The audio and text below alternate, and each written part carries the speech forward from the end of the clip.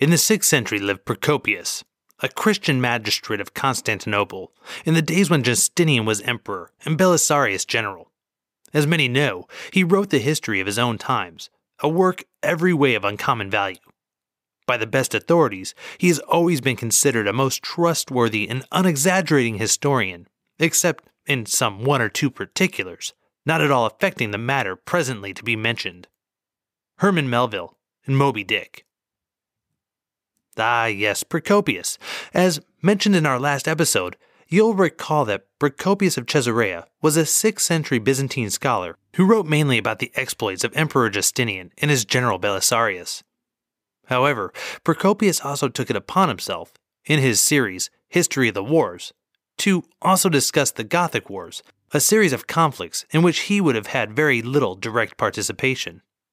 He more than likely received his information on these events from various Western embassies that visited Constantinople, the city in which Procopius was serving in some sort of upper level position of power. With all that said, Procopius provides a perfect example of some of the problems that present themselves when dealing with history that's nearly 1500 years old. First off, and most obviously, Procopius wasn't speaking and writing English. His texts were in Greek, leaving his words open to argument by translators. This causes plenty of problems in and of itself. But then, second, Procopius wrote his histories as stories using phrases such as, such then are the facts. Well, if you're like the narrator in our opening passage from Moby Dick, and you're willing to accept Procopius as a most trustworthy and unexaggerating historian, well, his claim that his statements and stories are facts can lead some to accept everything he says without critical thought. Third, Procopius was certainly afflicted by his own personal interpretations and cognitive biases, just as all of us are. But for those of us who are trying to parse his words in the modern day, we have to add in this extra layer of attempting to understand what may have been on Procopius's mind as he wrote his histories in a time and place that is completely foreign to our current condition. With all of this said, we're left with a situation when reading authors like Procopius wherein we don't want to believe everything he says, but at the same time, we don't want to dismiss him entirely out of hand, if for no other reason than the fact that there's just not a lot of surviving sources from the 6th century to pull from. So we read his stories. We try our best to work through all the issues I mentioned a moment ago, and we then attempt to use what's left as a puzzle piece that we can add to the picture to maybe illuminate our understanding somewhat. And if absolutely nothing else, some of what Procopius wrote is just amusing, and that's why I'm presenting a portion of his writing here today. In this passage, Procopius outlines the broken betrothal of a British princess and a Varni prince. This prince had some interesting family ties to Theudebert, thus tying him into our larger Frankish narrative. This story is also likely part of a narrative to explain how it came to be that the Varni chose to send Theudebert's sister back to the Franks after she had been married to the king of the Varni. In this sense, we can see the biases of not just Procopius, but perhaps the Franks who told him the story as well. We also get a glimpse of just how far and fast understanding of basic geography had fallen in the Eastern Roman Empire following the Roman loss of power and influence in 5th century Britain. Procopius notes two British islands in his writing Britain and Brittia. Based on his writing and a bit of speculation, it's entirely possible to believe that Procopius has confused the Brittany region of northwestern France, an area with ties to mainland Britain and often under its own rule, as being a physical island rather than simply being an independent political entity. Finally, as we go through this story, think of who gains from this telling. This, from what I can tell, is the first instance of a French monarch making a claim on the island of England when Theudebert attempts to, quote, establish his claim that this island was ruled by him to the Byzantines. This theme of who rules the thrones of Britain and France will come back into our history on multiple occasions and will be told by both sides. This is just the first. Alright, enough of the prelude. Let's get to the story. This is Thugs and Miracles.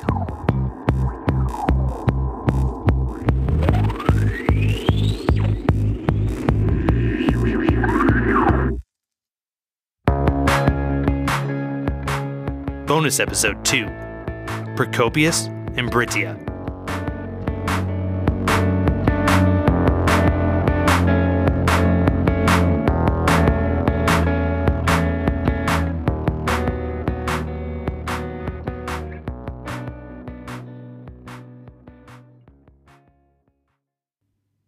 At about this time, war and fighting sprang up between the nation of the Varni and soldiers who live on the island called Brittia, and it came about from the following cause.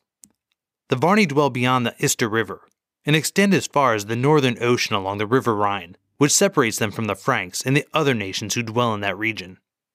Now, among all these nations, which in ancient times dwelt on both sides of the Rhine River, each people had its own particular name, but the whole group was called in common Germans. The island of Brittia lies in this part of the ocean not far from the coast, being about 200 stades off and approximately opposite the mouth of the Rhine, in between the islands of Britain and Thule.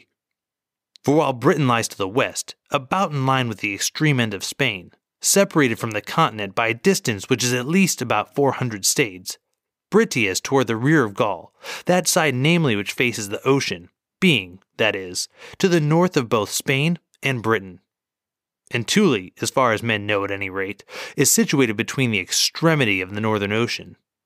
But the description of Britain and of Thule has been set down by me in the preceding narrative.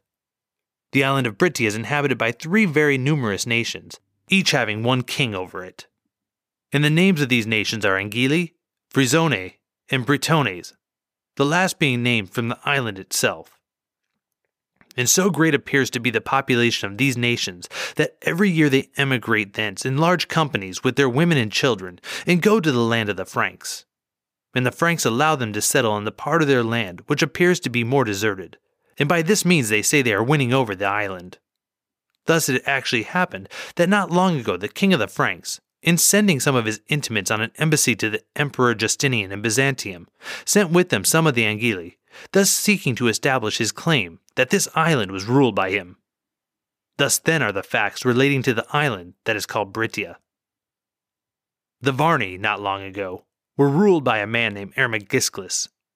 He, being eager to strengthen his kingdom, had made the sister of Theudebert, ruler of the Franks, his wedded wife. For his previous wife had died recently, having been the mother of one child, Radagis by name, whom she left to his father. And he sought a marriage for this child with a maiden born in Brittia, whose brother was then king of the nation of the Angili, and had given her a large sum of money because of his wooing. Now, this man, while riding with the most notable of the Varni in a certain place, saw a bird sitting in a tree and croaking loudly. And whether he really comprehended the bird's voice, or, possessing some other knowledge, simply made a mysterious pretense of comprehending the bird's prophecy, he at any rate immediately told those with him that he would die forty days later. For this, he said, was revealed to him by the pronouncement of the bird. Now I, he said, making provision that you should live most securely and at your ease, have related myself with the Franks by taking from their country the wife who is now my consort, and I have bestowed Brittia upon my son by betrothal. But now, since I expect to die very shortly, and as far as this wife is concerned, I am without issue, male or female, and my son furthermore is still unwed and without his bride, Come now, let me communicate my thought to you, and, if it should seem to you not without some profit, do you, as soon as I reach the term of my life, put upon it the seal of your approval and execute it. I think, then, that it would be more to the advantage of the Varni to make alliance by marriage with the Franks than with the islanders. For the men of Brittia, on one hand, are not even able to join forces with you except after a long and difficult journey, while the Varni and the Franks, on the other hand, have only yonder water of the Rhine between them, so that they, being very close neighbors to you, and having achieved an enormous power, have the means ready at hand both to help you and to harm you whenever they wish. And they will undoubtedly harm you if the said marriage alliance shall not prevent them. For men naturally find a neighboring state's power, when it surpasses their own, grievous and a most ready cause of injustice, for a powerful neighbor may with comparative ease secure causes of war against his neighbors who are doing no wrong. Since then, the facts are these let the island girl who has been wooed for this boy be given up by you, and all the money which she has received from us for this purpose, let her retain as remuneration for the indignity, as the common law of mankind has it. But let my son Ragdis be married to his own stepmother thenceforth, just as our ancestral law permits us. So he spoke, and on the fortieth day from the pronouncement, he fell sick and fulfilled his destiny.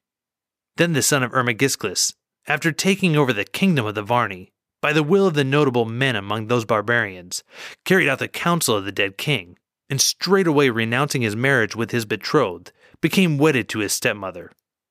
But when, but when the betrothed of Rhagdus learned this, she could not bear the indignity of her position, and undertook to secure revenge upon him for his insult to her.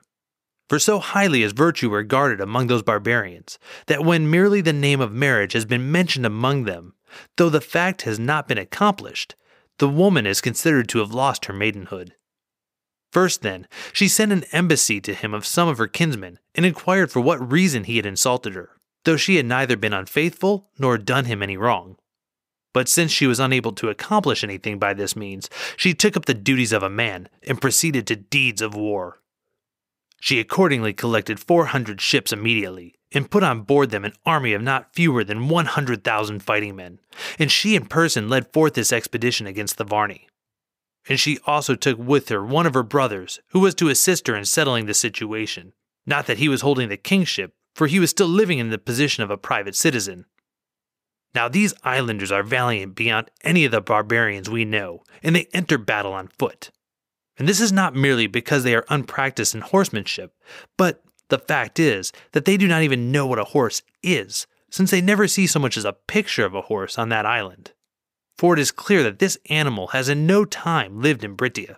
And whenever it happens that some of them on an embassy or some other mission make a visit among the Romans or the Franks or any other nation which has horses, then they are constrained to ride on horseback. They are altogether unable to leap upon their backs, but other men lift them in the air and thus mount them on the horses.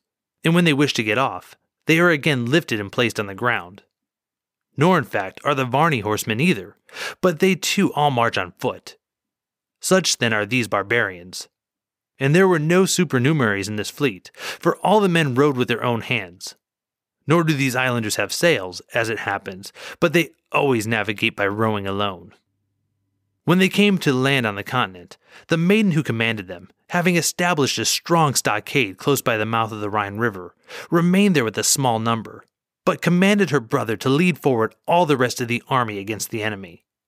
Now the Varni at that time were encamped not far from the shore of the ocean and the mouth of the Rhine. So when the Angili reached that place, marching swiftly, the two armies engaged in combat with one another, and the Varni were defeated decisively. And many of them fell in this struggle, while the entire number of those remaining, together with the king, returned to retreat, and the Angili, after keeping up the pursuit for only a short distance, as is customary for infantry, retired to their camp. But the maiden rebuked them when they returned to her, and inveighed most vehemently against her brother, declaring that nothing worthy of mention had been achieved by the army, because they had not brought her Rhagdus alive. She then selected the most warlike men among them and sent them off straight away, instructing them to bring the man captive without fail. Then, by way of carrying out her mission, these men went about searching that whole country thoroughly until they found Rhadagus hiding in a dense wood. Then they bound him and took him back to the girl. So he stood before her eyes trembling and expecting to die instantly by the most cruel death. She, however, contrary to his expectations, neither killed him nor inflicted any other harm upon him, but by way of reproaching him for his insult to her, inquired of the fellow why in the world he had made light of the agreement and allied himself to another woman, and that too, though his betrothed had not been unfaithful. And he, seeking to defend himself against the charge, brought forward the commands of his father and the zeal of his subjects, and he uttered words of supplication and mingled many prayers with his defense, excusing his action by the stress of necessity. And if it was her will that they should be married, he promised that what he had done unjustly in the past would be repaired by his subsequent conduct. Now, when this was approved by the girl, and Rhadagus had been released from his bonds and received kind treatment in all other matters, he straightway dismissed the sister of Theudebert and wedded the girl from Brittia. Thus did these events take place. Alright, now you can see what I'm talking about insofar as the difficulties in using a historical source such as Procopius. He clearly didn't have first hand knowledge of the event, as he couldn't even give a proper name to the Brittia princess or her brother. He also was willing to say that this 6th century tribe was willing and able to cross the English Channel with a 100,000 warriors, all in the name of salvaging their princess's virtue. A crossing of that magnitude wouldn't be attempted again until 1944, so I'm willing to assume there were some numbers fudged in the telling for the sake of setting the scene. However, Procopius does give us insight into things such as the strength and estimation of the Franks, as viewed by the Byzantine Empire. He gives us an idea of this first attempt by a Frankish king to claim England as his own, and, in an indirect way, his entire story can really be seen as the reaction on the part of lesser groups to push back against Frankish hegemony. As pointed out by the historian Fabio Barbieri, quote, the logic of things is that the English and the Varni are backing each other to gain extra maneuvering space against a genuinely overmighty and influential Frankish power with its hand in both their powers, and that they are succeeding in doing so. End quote. In the end, Procopius is an interesting source, so long as his words can be measured against other sources in what we know about this period. But he should not be considered, as Melville said, quote, a most trustworthy and unexaggerating historian, except in some one or two particulars. Rather, he should be studied based on what makes him untrustworthy, on why he exaggerates, and the context he can provide to the greater narrative. And if nothing else, we can always enjoy him for telling a fun story. Facts be damned. All right, as always, the music used for this show comes from Josh Woodward and includes his songs Bully and Lafayette.